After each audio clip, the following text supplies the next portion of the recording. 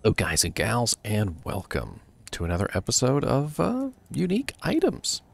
Uh, if you can't tell by the uh, the very rather unique item that's on the screen right now, uh, we are going to be going over the Ravenclaw longbow.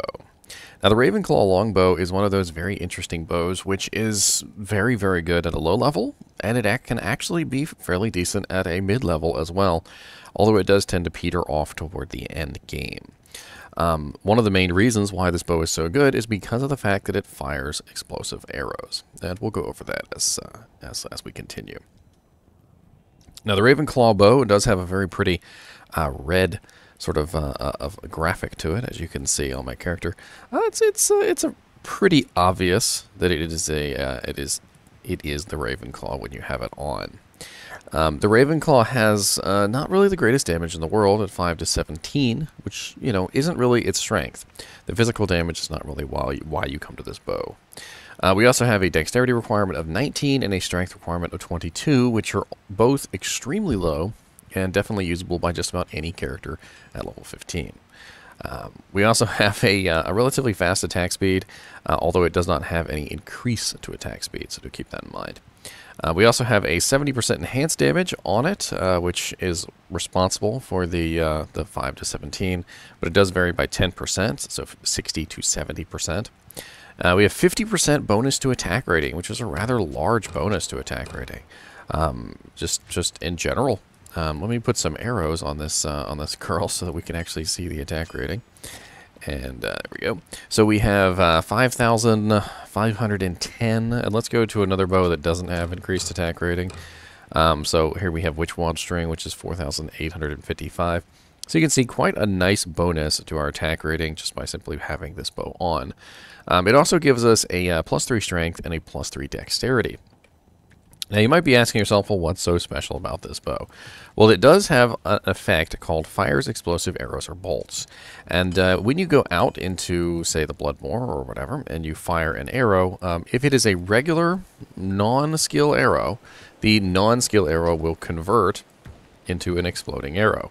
Um, and if that exploding arrow comes into contact with a monster, uh, the exploding arrow will, of course, dish out some nice uh, fire damage. Now, how much fire damage is it dishing out? Well, the answer to that question is actually a little complicated.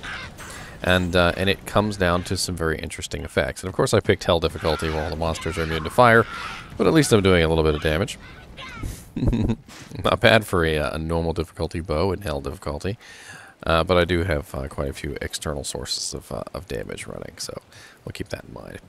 Uh, now, the fire's explosive bolts, it varies depending on the bow. So every single bow that has this effect has a different level of exploding arrow, um, depending on the bow itself. Um, so this particular one, if you actually go, and you take a look on uh, any, any kind of website which lists this, it will tell you that it is level 3. Um, so level 3 exploding arrow um, has a damage of 12 to 16 fire damage um, and an attack rating bonus of 38%. Um, this means that when you fire a regular arrow, not only are you getting the 50% attack rating bonus on Ravenclaw, but you're also getting the 38% attack rating bonus on the explosive arrow skill. Um, it is also adding 12 to 16 fire damage to your attack. Now, at level 15, 12 to 16 fire damage is actually not bad since you're getting it for free. The additional attack rating bonus on both the bow and the skill are actually very nice, but that's not the secret to this bow. So the secret to this bow is actually uh, the, what is the secret to the skill. So the fire's explosive uh, arrow skill, the actual exploding, exploding arrow skill, which is a skill on Amazon. If you take a look on the bow and crossbow tree, it's right here. Um, the actual skill has a interesting effect that does not. Um, how do I put this? It is not apparent. It, it is not something that you are going to know unless somebody tells you. Um, so basically how this works is any fire damage that you have. Um, so for instance, let's say you had a 26 to 42 damage uh, fire small charm. Um, any fire damage that you have from any source will be added to the exploding arrow's fire damage explosion. So exploding arrow has a radius of three yards when it hits a target and it explodes.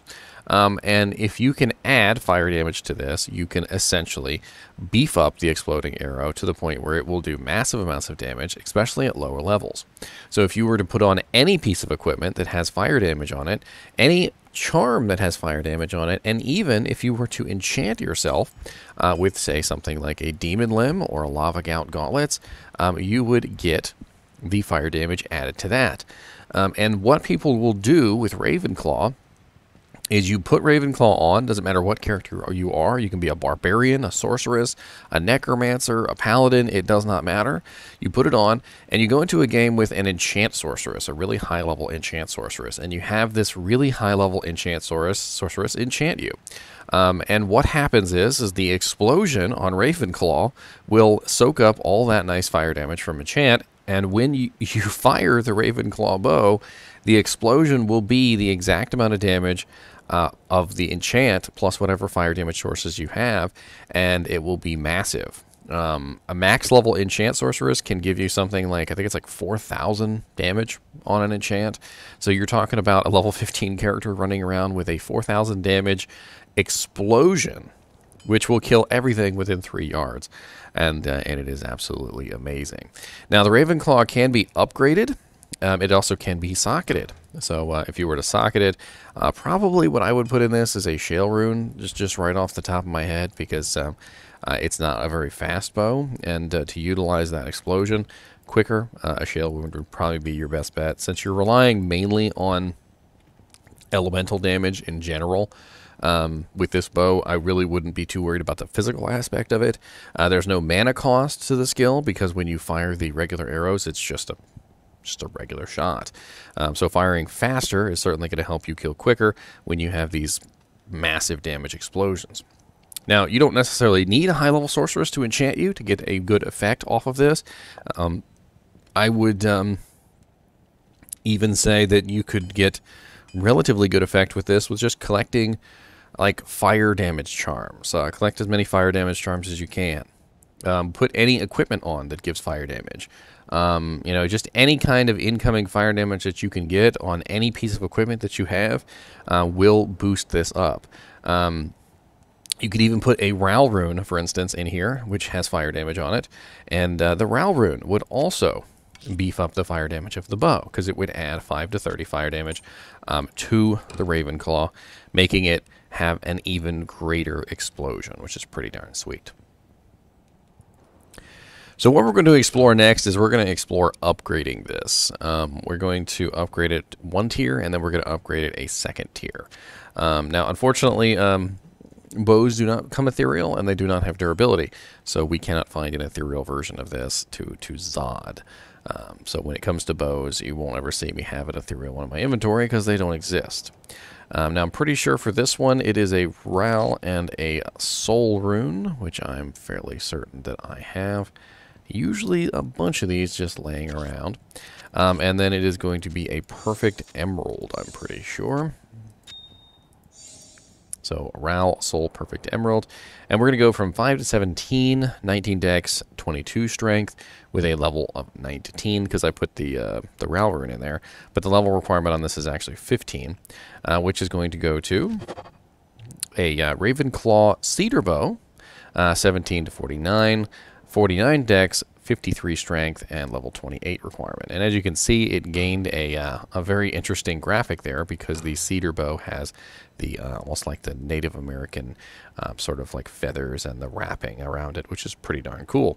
So now we have changed from the uh, from the regular graphic to the one with the feathers, uh, and um, this has made the bow actually pretty good. Um, and you can actually use this for quite some time. Um, and, and honestly, as a exploding arrow Amazon, um, you could use this for quite a while. And believe it or not, the um, exploding arrow that's on the Kuko, or the sorry, the Kuko, because the Kuko is another bow that has exploding arrow. That's why I was thinking of that. The uh, that's on the Ravenclaw can also benefit from the um, synergy bonus of fire arrow. So if you have a level 20 fire arrow, you will get the um, the very nice 12% damage per level from fire arrow added to this, which is very nice. And um, and if you're running with an enchant sorceress, uh, this will still come in handy. It goes relatively fast. Um, I would recommend putting a Shael rune in it instead of a Ral rune because it would give you probably give you a little bit better uh, use out of that. Um, if you wanted to keep the Ravenclaw on level though, like say for instance you just wanted to keep it as a normal difficulty item and you wanted to make sure that it stayed at a level 15, I would recommend putting in a flawless. Um, I don't have one sitting around. A flawless ruby. Uh, not a flawless sapphire, a flawless ruby. Flawless rubies are level 15. It's the same level, so you would get a nice fire damage bonus um, added to the Ravenclaw, and it would keep it on level, which would help um, enhance the uh, the fire damage explosions. Um, now let's upgrade this a third time, because why not? So uh, Pul and a Lum rune, I believe, is what we need, and another perfect Emerald. Bink, bink, bink. Nice. And uh, so we're going to take the bow, we're going to put it in here one more time. And it, it, I think it's going to lose the graphic because the special graphic, I think, is only for nightmare bows. Um, so the Ravenclaw Cedar Bow is going to go from 17 to 49, 49 dex, 53 strength, and level 28. To uh, the Ravenclaw Shadow Bow, which is now 25 to 100. A very nice increase in the physical damage. Uh, dexterity requirement of 188, which is ginormous. Uh, that's actually pretty ridiculous, and not a lot of characters are probably going to be able to use that. Um, 52 strength requirement and a level requirement of 59. Uh, and especially at level 59, 188 strength requirement is just way too high. Um, granted, you could use this on a exploding arrow Amazon, but um, I'm to tell you right now that um, the Kuko is probably the better bow if you're level 59. Uh, Kuko Shakaku. I can't even remember. I, I, I, I always think of the freaking um, Ace Ventura movie where they were talking about the Kuko, uh, the the special bird or whatever, and he started like hawking loogies at each other. I don't even I don't even freaking know. Uh, if you have seen the movie, you know what I'm talking about. If you haven't seen the movie, then go watch the movie. That's what I gotta say to you. All right, so as far as the Ravenclaw goes, um, using it in its level 15 form is absolutely amazing, and it's great for power leveling characters. Um, using it in its uh, upgraded form, its tier 2 form, its nightmare form, its elite uh, exceptional form, um, is actually pretty decent. Uh, but however, I would not recommend upgrading it a third time because I feel like the third upgrade just isn't really quite worth it. Um, if you were to use this on an Amazon, I would recommend um, just going with the Kuko instead. Um, if you were to use this on a non-Amazon, um, I wouldn't because the 188 dexterity requirement on this is just way too high, and there's not a lot of characters that build 188 dex. Um, and if you are building 188 dex, it's probably to wield a shield. So, probably not a good upgrade for Tier 3. Uh, but I am going to say that it is a solid upgrade for Tier 2 uh, just simply because it's uh, it's a relatively easy to find bow. You could hold on to a level 15 version, and you could hold on to the level 28 version, and uh, and you could utilize them both uh, at your leisure. Um, I probably wouldn't socket this, just simply because I would be moving on pretty quickly.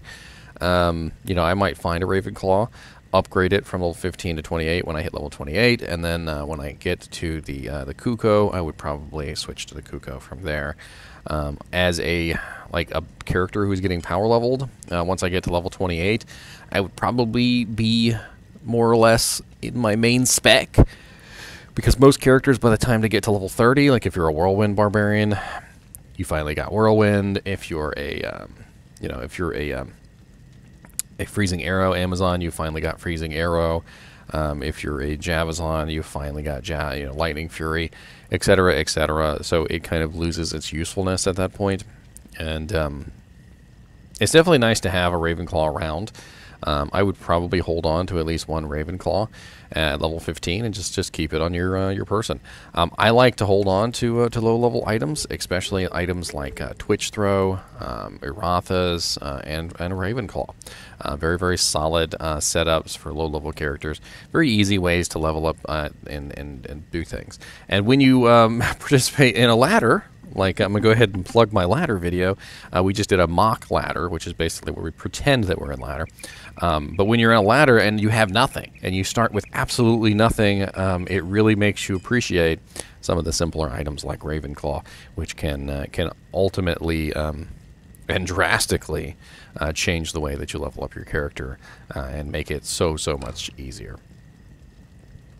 Um, anyway, if you want to find this bow, uh, it drops pretty much everywhere normal difficulty, uh, probably except Act One, uh, maybe for Mandariel, but uh, but most likely you're going to find it in Act Two and up in normal difficulty, and pretty much everywhere else there's a chance that it can drop. Um, as always, I do appreciate you guys and gals watching my videos, and uh, keep watching.